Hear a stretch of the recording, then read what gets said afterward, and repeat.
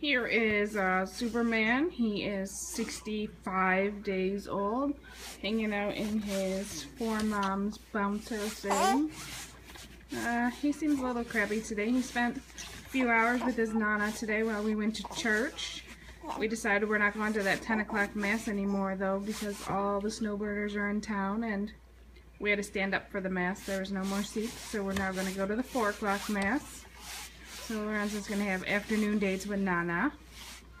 Um, not Lorenzo, Marco. And Marco went to Costco with me and Sage. We went to Costco and we went to Albertsons because we are going to start a, a juice diet tomorrow.